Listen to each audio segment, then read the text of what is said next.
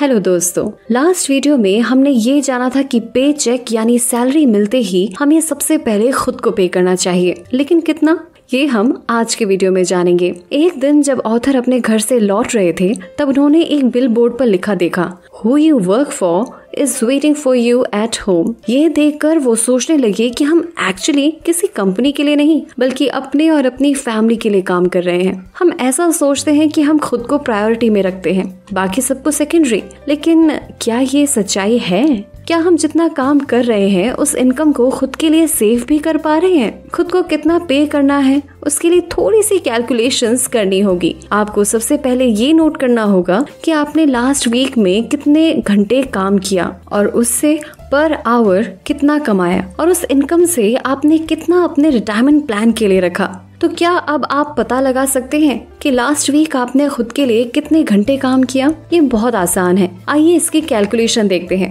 मान ले अगर आपकी पर आवर की प्री टैक्स इनकम अप्रोक्सीमेटली दो हज़ार रूपए है और आप लास्ट वीक की इनकम में से चार हज़ार रूपए सेपरेट रख दें, तब चार हज़ार को दो हज़ार से डिवाइड करने पर आंसर आता है दो। इसका मतलब आपने लास्ट वीक में खुद के लिए दो घंटे काम किया। अगर इसे सिंपल तरीके से कहें तो हमें हर दिन की इनकम में से पर आवर की इनकम को सेव करना चाहिए। यूएस डिपार्टमेंट ऑफ़ कॉमर्स के अनुसार अमेरिका के ज़्यादातर लोग एक दिन के 22 मिनट ही खुद के लिए काम करते हैं। और पाँच में से एक इंसान तो ऐसा है जो बिल्कुल भी सेव नहीं कर पाता है। भारत में तो सिचुएशन और भी खराब है। हमारे यहाँ तो लोग एक दिन में जितना कमाया, उसे उसी दिन उड़ा देते हैं। दोस्तों, हम रोज सुबह जल्दी उठते हैं, अपनी फैमिली को छोड़कर काम पर जाते हैं और अपने वॉकिंग आवर्स भी कॉम्प्रोमाइज करते हैं। ये सब हम किसी और के बिज़नेस को बिल्ड करने के लिए कर रहे हैं। क्या आपको ये नहीं लगता कि पूरे दिन में एक घंटा तो हमें खुद के लिए काम करना चाहिए? दोस्तों, आज से डिसाइड करें कि आप क्यों ना एक दिन के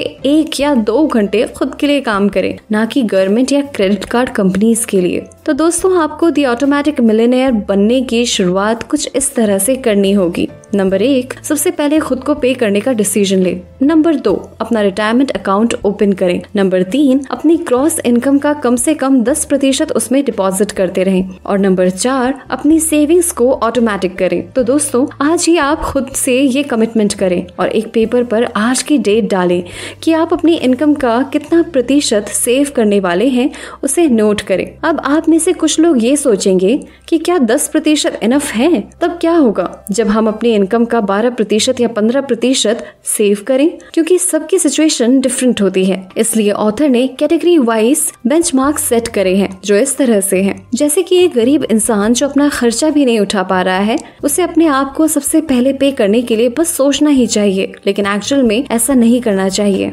और अपनी पूरी मंथली इनकम को अपने खुद की और अपने परिवार की जरूरतों के लिए बिना सेव के खर्च कर देना चाहिए। वहीं एक मिडिल क्लास पर्सन को अपनी इनकम का पाँच से दस प्रतिशत सबसे पहले खुद को पे करना चाहिए। ऐसे ही एक अपर मिडिल क्लास पर्सन को 10 से 15 प्रतिशत तक और अमीरों को 15 से 20 प्रतिशत तक वहीं एक ज़्यादा रिच पर्सन जो जल्दी रिटायर भी हो सकता है, उसे 20 प्रतिशत या इससे ज़्यादा सबसे पहले खुद को पे करना चाहिए। तो दोस्तों, आपको किस कैटेगरी में रहना है? ये आप खुद को राइट परसेंटेज में पे करके चूज़ करें। हो सकता है आप में से कुछ लोगों को पेइंग योर सेल्फ फ़र्स्ट का कॉन्सेप्ट इफ़ेक्टिव ना लगे और आप किसी ऐसे स्टॉक या म्यूचुअल फंड इन्वेस्टमेंट के बारे में सोच रहे हो जो आपको लाइफ टाइम रिटर्न देता रहे। क्या आप कोई ऐसी इन्वेस्टमेंट के बारे में सोच रहे हैं जिससे आपको हर साल दस प्रतिशत का रिटर्न मिलता रहे आपको जो सही लगे वो करें, लेकिन याद रखें वेल्थ बिल्डिंग का फाउंडेशन तो खुद को सबसे पहले पे करना ही है आइए अब जानते हैं कि खुद को पे की गई इनकम को ऑटोमेटिक कैसे बनाएँ।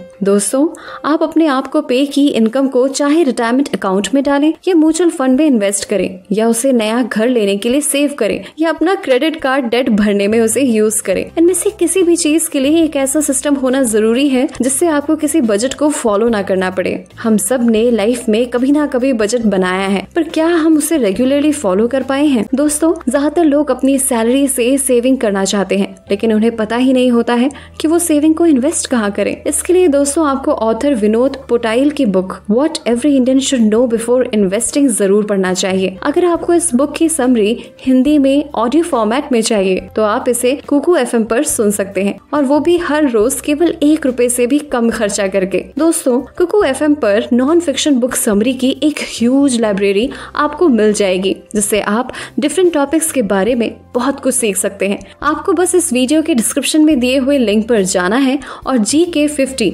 इस कूपन कोड को अप्लाई करना है। लेकिन दोस्तों, जल्दी कीजिए, क्योंकि आप में से सिर्फ़ पहले 250 सब्सक्राइबर्स को ही ये 50 परसेंट डिस्काउंट मिलेगा। तो अभी Kuku F M app download कीजिए और बुक्स पढ़ने के बदले ऑडियो बुक सुनकर अपना टाइम एफर्ट और मनी तीनों ही सेव कीजिए। ऑथर ने बताया कि जब वो अर्ली ट्वेंटीज में थे, तब उन्होंने सबसे पहले अपनी इनकम का एक प्रतिशत सेव करने से शुरुआत की थी। फिर तीन महीने बाद उन्होंने सेविंग्स को तीन प्रतिशत तक बढ़ाया। फिर ऑथर एक दिन जिम और शू से मिले, जिनकी स्टोरी पिछले वीडियोस में बताई गई थी और उन्होंने डिसाइड कर लिया कि वो अपनी लाइफ में भी ये कॉन्सेप्ट अपनाएँगे। स्टार्ट अर्ली फिनिश रिच और फिर सेविंग्स को 10 प्रतिशत और नेक्स्ट ईयर तक 15 प्रतिशत तक बढ़ा दिया। आज भी ऑथर और उनकी वाइफ अपनी इनकम का 20 प्रतिशत अपने रिटायरमेंट अकाउंट के लिए सेव करने की कोशिश कर रहे हैं। और अब ये उनके लिए नॉर्मल हो चुका है, क्योंकि वो ये काफ़ी सालों से रेगुलरली करते आ रहे हैं। जब तक आप ये करना स्टार्ट नहीं करेंगे, हो सकता है आपको ये मुश्किल लगे, लेकिन पहले तीन महीने के अंदर ही आप ये काम एफर्टलेसली कर पाएँगे। आप चाहे तो एक प्रतिशत से ही स्टार्ट करें, क्योंकि ये छोटा सा स्टेप आपकी हैबिट्स को चेंज करेगा और सेविंग्स को ऑटोमेटिक बनाएगा। तो दोस्तों, अब आप पे योर सेल्फ फ़र्स्ट का फॉर्मूला अपना चुके हैं। तो अब आपका नेक्स्ट स्टेप है एक ऑटोमेटिक मिलेनियर फ्यूचर को पाना। दोस्तों, आइए अब जानते हैं कि हम अपने फाइनेंशियल फ्यूचर को कैसे सिक्योर कर सकते हैं। ये बहुत ही सिंपल है। हमें खुद से एक प्रॉमिस करना होगा कि अब हम ना ही गवर्नमेंट पर ना ही हमारे एम्प्लॉयर और ना ही हमारी फैमिली पर डिपेंडेंट होंगे और खुद को रिटायरमेंट के बाद एक कंफर्टेबल स्ट्रेस फ्री लाइफस्टाइल देने के लिए काम करेंगे। दोस्तों इन्वेस्टर्स ऐसे ऑप्शंस देखते हैं जिनसे उनकी टैक्स फ्री इनकम जनरेट हो सके। इंडिया में ऐसे बहुत सारे ऑप्शंस अवेलेबल हैं, जिनमें से एक है पब्लिक प्रोविडेंट फंड पीपीएफ एक गवर्नमेंट स्पॉन्सर्ड सेविंग्स और रिटायरमेंट प्लानिंग इन्वेस्टमेंट है, जो टैक्स फ्री है।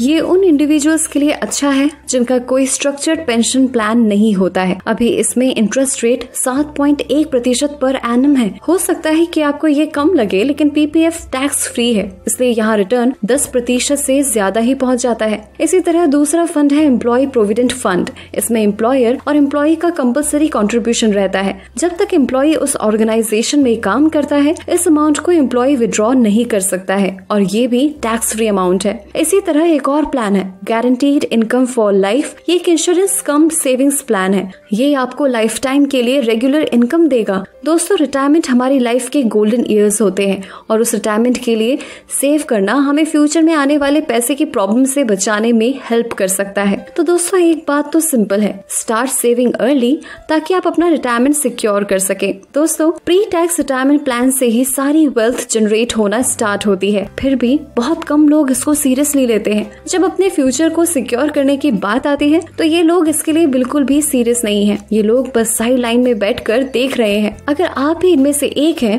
तो आप आज अपना साइन अप डे समझिए और अपने लिए एक रिटायरमेंट प्लान चुनिए और उसमें एनरोल हो जाइए। या आप जिस कंपनी में काम कर रहे हैं, उसकी वेबसाइट पर देख सकते हैं या आप गवर्नमेंट लॉन्च प्लान में भी एनरोल हो सकते हैं। बाकी की बातें टू बी कंटिन्यूड ये बातें मैंने आपको दी ऑटोमेटिक मिलीनियर बुक से बताई है, जो डिटेल में सिखाती है कि हम अपने पैसे को कैसे मैनेज कर सकते हैं। वो भी लाइफ को एंजॉय करके। सो आप ये सारी बातें सीखना चाहते हो तो डिस्क्रिप्शन में जाकर बुक खरीद सकते हो। और अगर आप इसी बुक पर अगला पार्ट देखना चाहते हैं तो मुझे कमेंट करके ज़रूर बताएँ। दोस्तों वीडियो पसंद आया तो लाइक का बटन ज़रूर दबा दें। और हमसे जुड़ने के लिए एफर्टलेस जीके को इंस्टाग्राम पर फॉलो ज़रूर करें। और ऐसे ही काम की बातों के लिए चैनल को सब्सक्राइब करें। साथ ही साथ डिस्क्रिप्शन में दिए लिंक से जीरोधा या स्टॉक से अपना डीमैट अकाउंट ओपन करना ना भूलें।